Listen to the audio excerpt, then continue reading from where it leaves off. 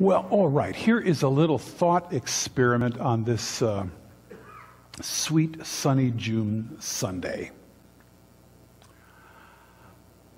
If, uh, if an acquaintance of yours, um, in the middle of casual conversation about whatever, um, happened to turn the topic gently toward religion, uh, first of all, would you hang in there at all, or would you just say, oh, oh geez, I got to go? but what, what if that person were to say, well, you know, we're in the middle of a huge religious revival here in North America. You can see signs of it all over. What would be your reaction to that person? Cold, yeah. Disagreement. Nah. Yeah. Come on. Huge religious revival. You can see signs of it all over. Come on now.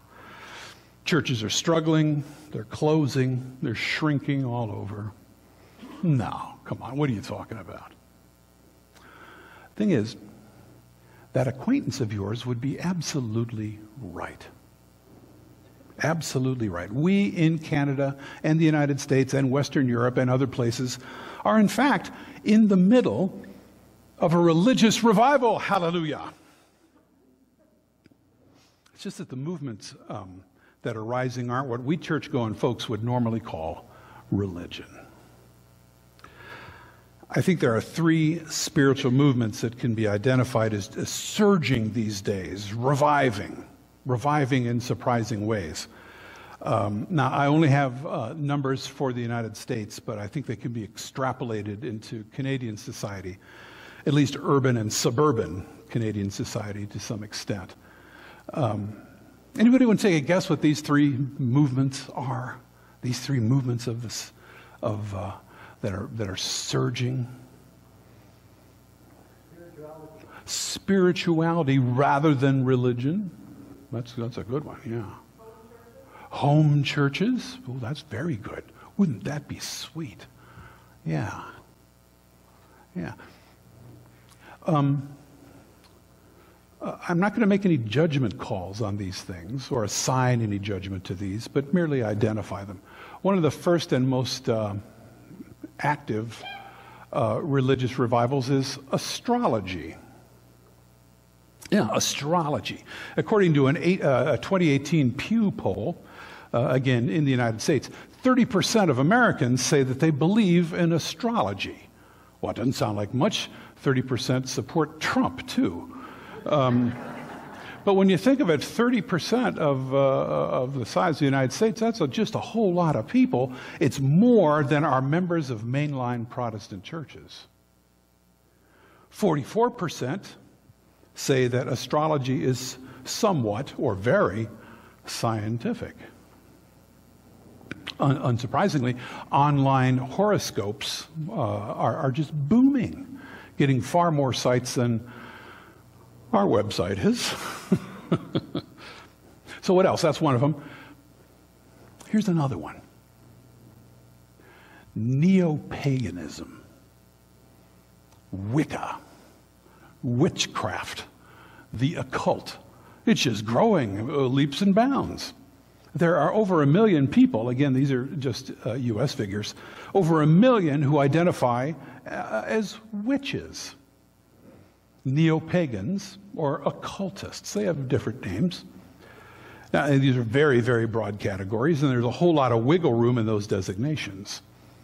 But it's surging. I mean, not like Salem uh, type witchcraft, but neo paganism, a return to nature, a return to uh, that which is not orthodox.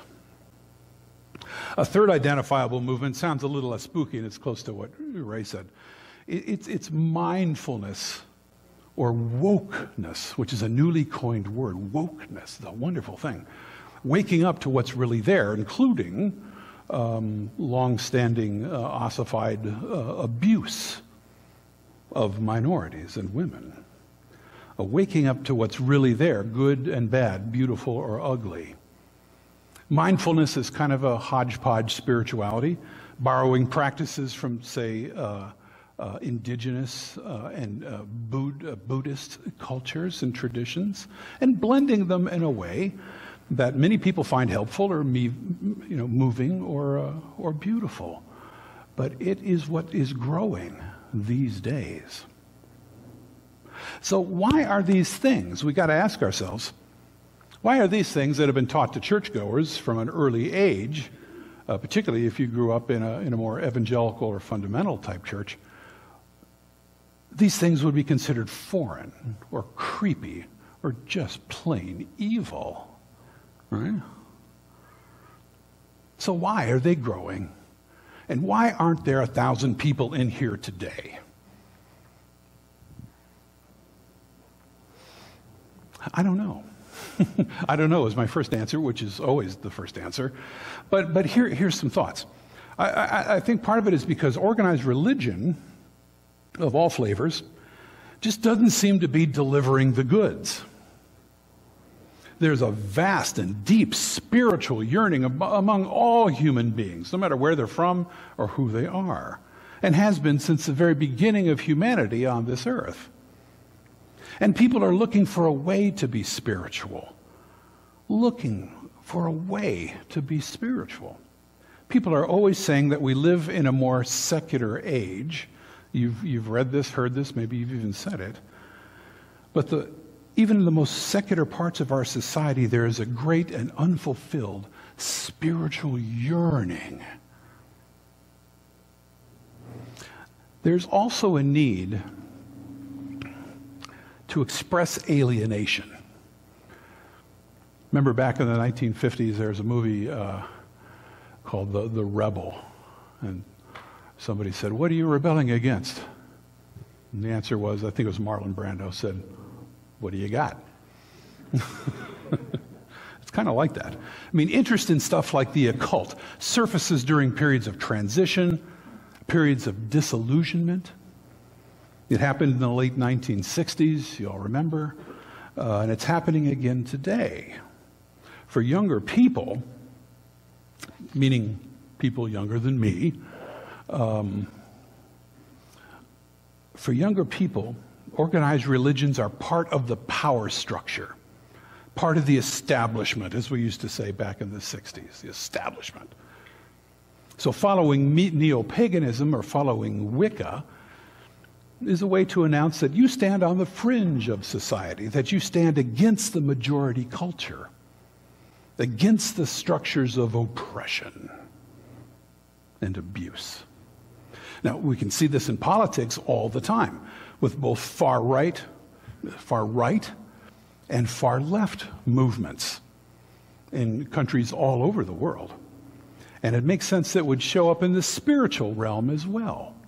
People are moving away from the center and out to the fringes to be something different than the establishment. And there's one more thing I think. Um, we live at a time when many of the traditional sources of, uh, of, um, of identity, uh, ethnicity, uh, neighborhoods, various kinds of rootedness, are, are disappearing. And you can see the backlash of this in the, in the, the, the white supremacist movements and ugly stuff like that. So people are turning to things like astrology. Astrology purports to tell you who you are and what traits you have. Whether it does or not is an open question. And in a highly diverse society, it also tells you what sort of people you're likely to be compatible with and, uh, or incompatible with. Those are the answers people are looking for when people talk about astrology. That's kind of how they use it. Who's going to be my soulmate, my, uh, my life partner? Who are, who are my friends going to be? I'm looking for people whose uh, Mars is in the second house and Jupiter is aligning with whatever. Um, so, as our new website becomes live uh, this coming week, I, I hope, um, What is it that we have to offer people? What is it that we have to offer people out there who aren't in here yet? What will keep our doors open as we reach our 70s, our 80s, or our 90s? well, I'd like to talk about that in kind of an oblique way.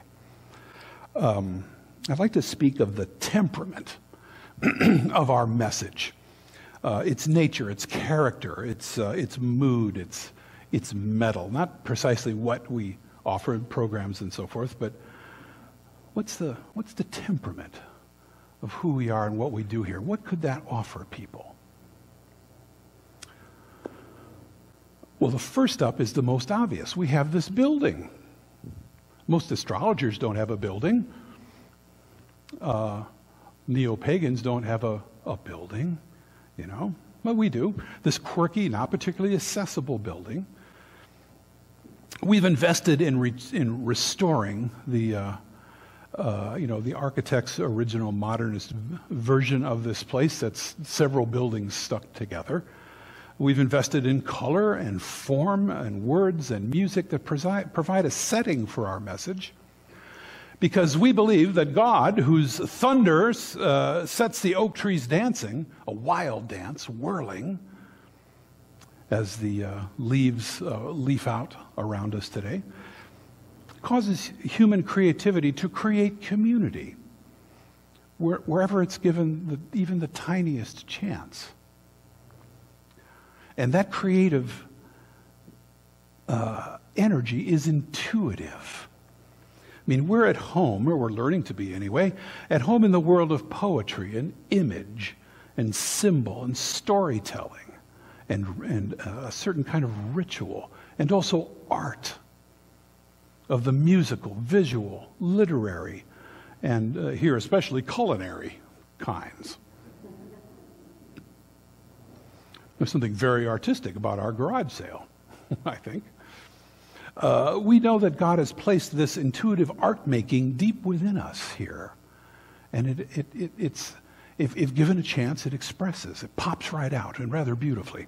Churches like ours have, already, have always resisted the temptation to align ourselves with the dogmas of the far right or the far left, finding the richness of the spiritual life not to be in conformity or in creedal formulas but in the inner life of intuition, spiritual inquiry, seeing with soul. That's a big part of who we are. Now, we use our minds, of course. We're both intuitive and thinking. We value both spiritual inquiry and intellectual freedom.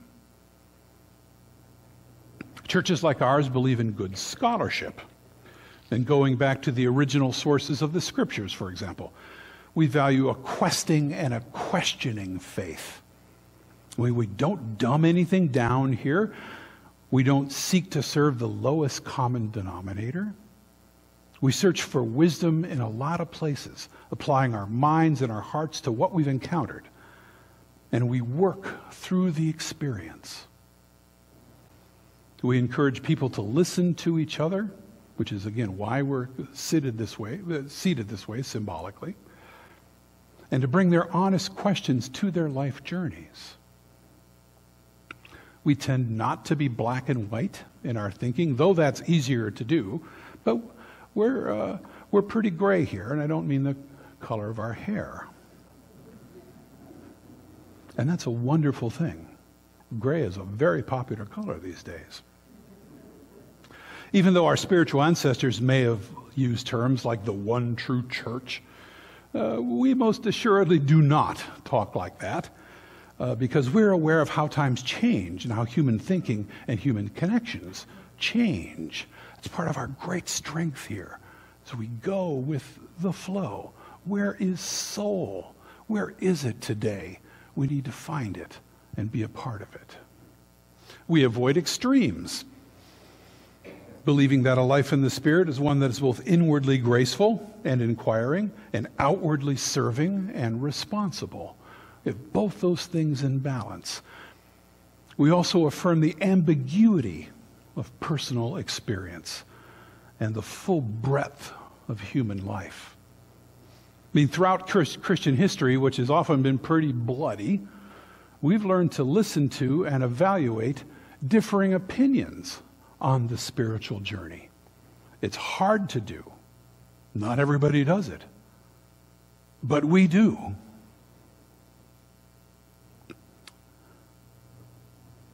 The United Church doesn't have 2,000 member churches because we don't do much cheerleading and rabble rousing. We do a little promotion. Again, we got a website, we got a newsletter, we got some print ads, we've got some stuff like that. But we don't do much cheerleading.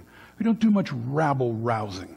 We may shout glory as we did in our Psalm 29 call to worship, but that's not our main way of going about celebrating our connection to God. Not really. Now, this next point deserves a much longer development, but let me just throw it out there for now.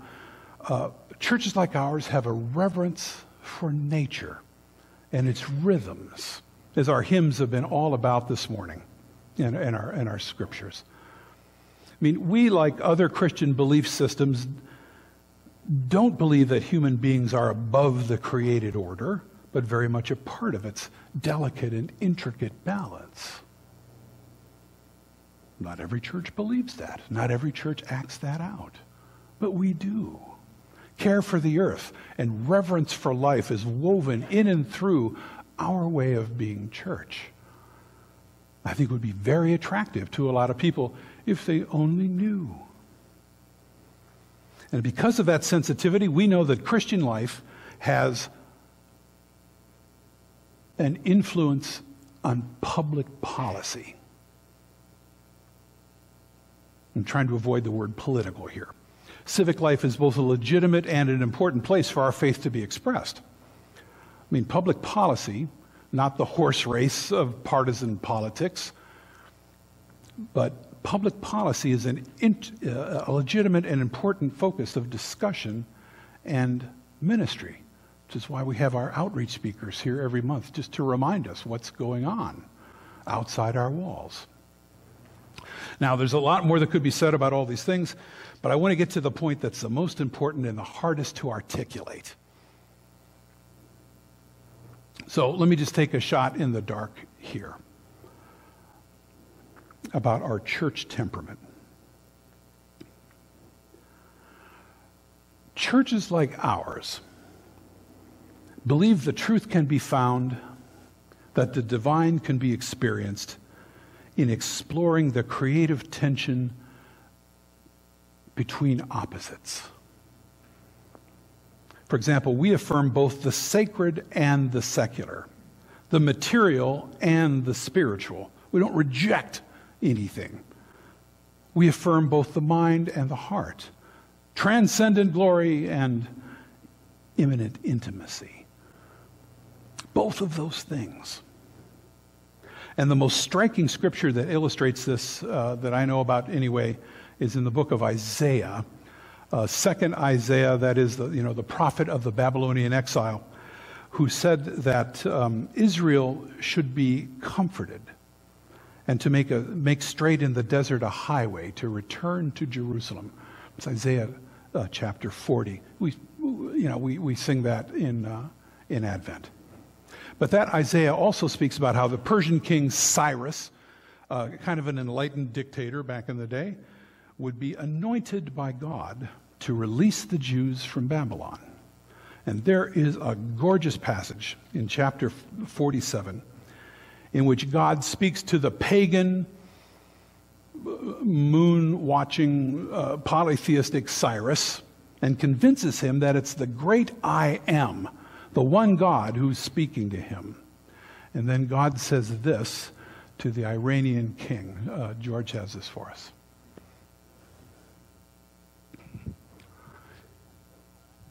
No. Okay. I will give you the treasures of darkness and riches hidden in secret places, so that you may know that it is I, the Lord, the God of Israel who call you by your name. I am the Lord, and there is no other.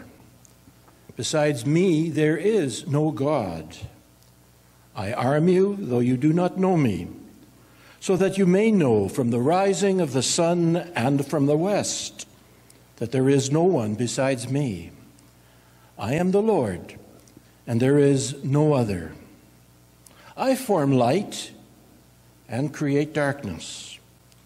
I make weal and create woe. I, the Lord, do all these things.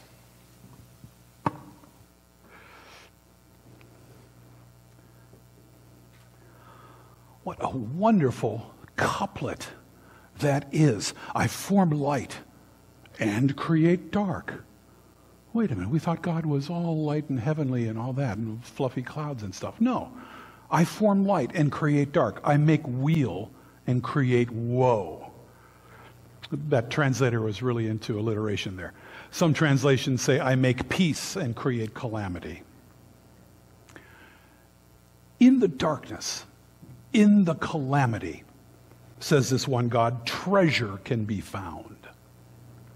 In the secret places, in the shadows, in the places where we as individuals and communities and nations like to hide it away. That's where the treasure is. In the darkness, in the shadow. That's where the gold is, as we're doing with the kids, where the Christmas lights can be seen. That's where the truth is, the power, the intense, unconditional love is in the darkness, in the shadow.